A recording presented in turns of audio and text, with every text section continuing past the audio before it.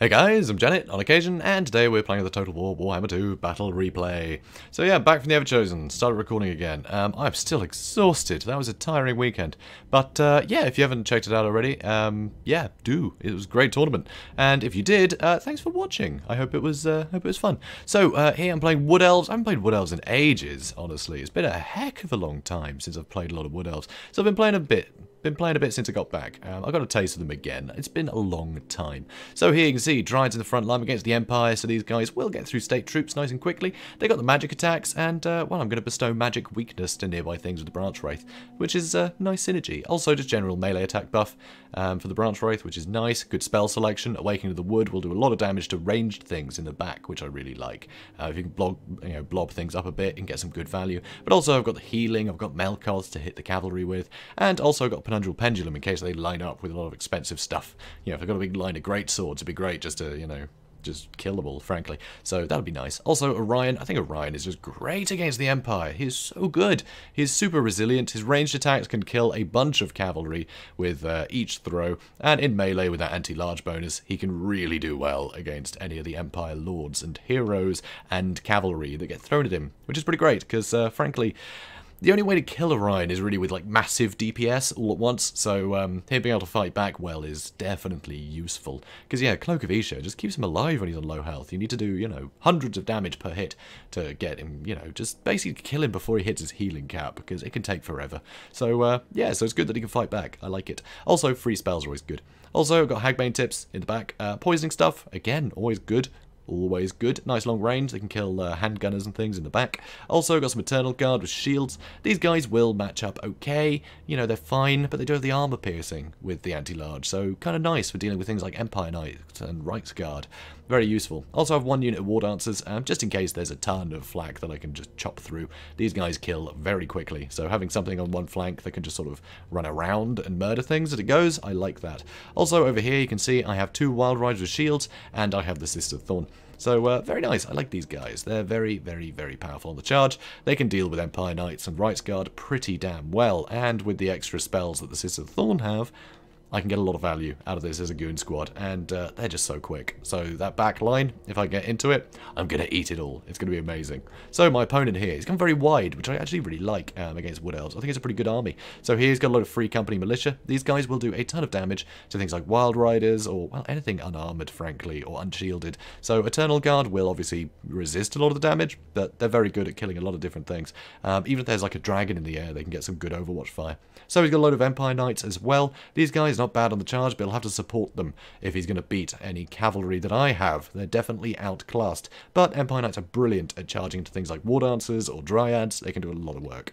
So pretty useful to have some of them. Also just great for plugging up the gaps.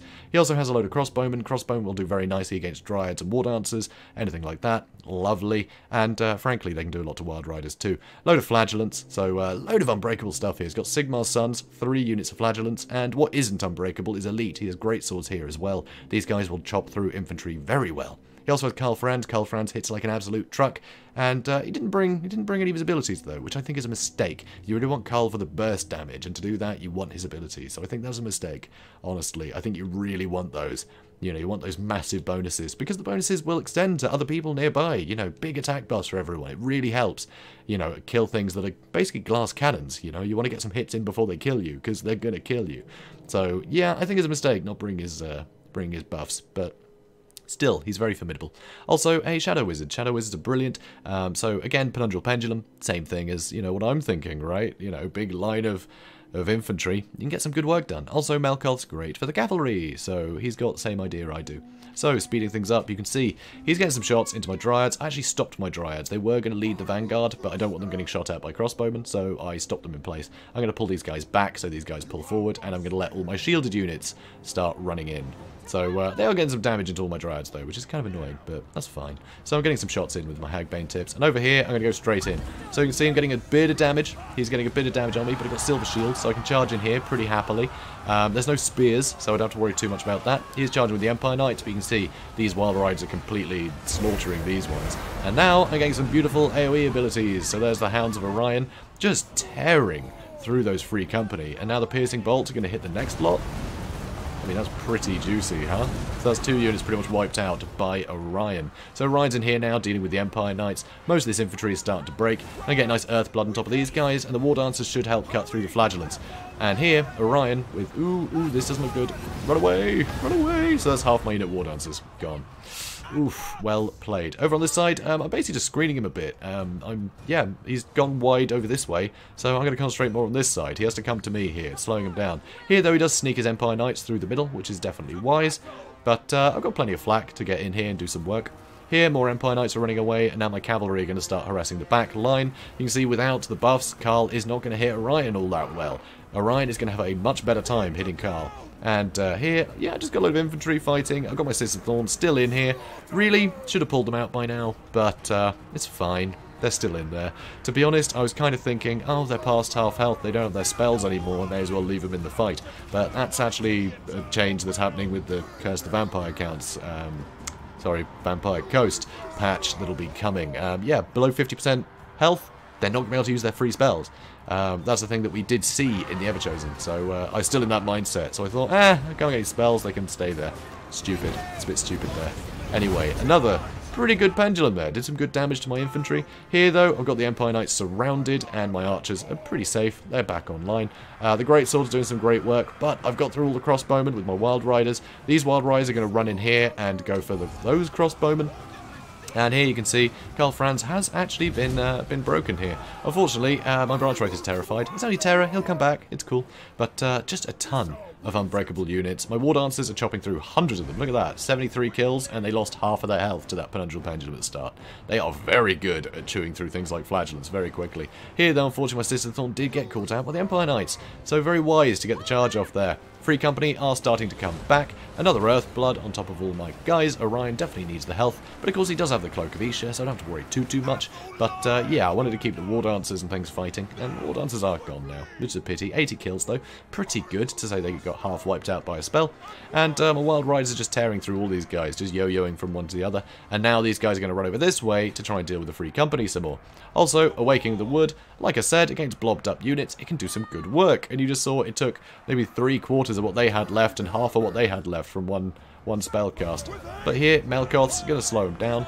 Oh, nope, nope, it doesn't look like... Did they get hit by that? I mean, it looks like they got hit by it, but I'm not seeing anything, which is unusual. Huh, not sure that happened. Yeah, it's not turning the spells on. Whatever, it's fine. They got hit by Melkoths. It hurts. Karl Franz jumping down to aid in that fight. Flagellant's coming in, unbreakable you know, Karl Franz, yeah, I don't want him fighting here. Um, yeah, Wild Riders, they're pretty injured, so I want to keep using them. I want to keep Psycho Charging, so I'm going to run away. I'm not going to leave them in combat. Karl can't really do much anymore. Um, honestly, I'm pretty happy. Here, Dryads are chasing the Empire Knights, and he's actually coming in with more Empire Knights over here. So I'm going to start getting some shots on them, and Orion is going to intercept which is definitely good for me. So um, here, he's going to change his mind. He's going to go for the Dryads. I'm going to pull the Dryads back to uh, go for these guys. Hit him with the Melkoths to slow him down, which again, it's not saying on the info card, which is weird.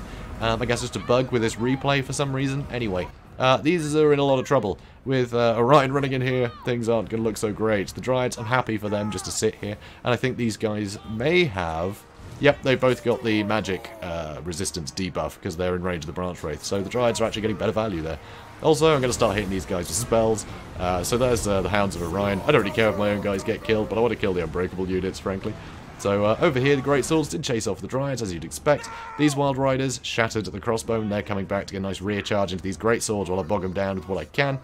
Here you can see the Grey Wizard has been trying to get in the way here. Uh, weirdly, I haven't really targeted him. There was always something more pressing than the Grey Wizard. Um, you know, with a couple of big spells like the Penumbral Pendulums, I kind of figured he wouldn't have too much go in him anymore. So I just kind of left him to it while I polished off everything else. So here you can see Orion did deal with all the cavalry, which is very nice. Uh, over here, got some more cavalry coming back. They chased the other Empire Knights off, so they'll be running back in. And now army losses are starting to hit. You can see things are starting to shatter. But, uh, of course, they still have all these flagellants. So uh, now I'm just going to hit these flagellants with everything I have.